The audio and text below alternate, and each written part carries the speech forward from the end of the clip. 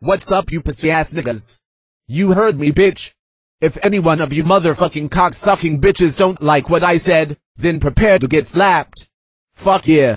I will take out my penis and bitch slap a hoe. All of you niggas really need to shut the fuck up. These bitches keep saying that I am not doing shit. Well you better get a baseball bat and stick that shit up your ass because I don't motherfucking give a fucking fuck what the fuck you have to motherfucking say. Are you upset that I just cursed at you?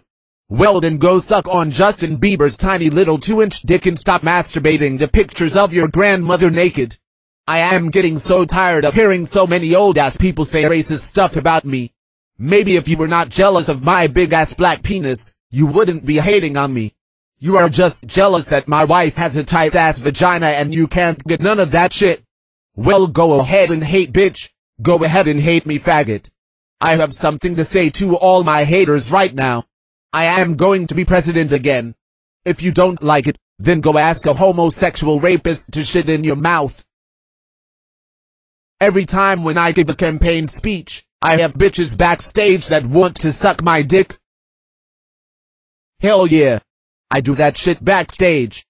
I go harder than Bill Clinton. You know why? Because I'm fucking Hillary too. I just continue to fuck bitches. One night I fucked 18 bitches. My dick hurt so much I had to urinate from my nipples. Did you know that Mitt Romney said I was gay? I got so upset, I made Homeland Security send a Trojan virus to his computer which downloads faggoty-ass Mexican porno. Now every time Mitt Romney turns on his computer, he sees a picture of Osama bin Laden trying to stick a chicken burrito up his ass. So those are the consequences of fucking with me.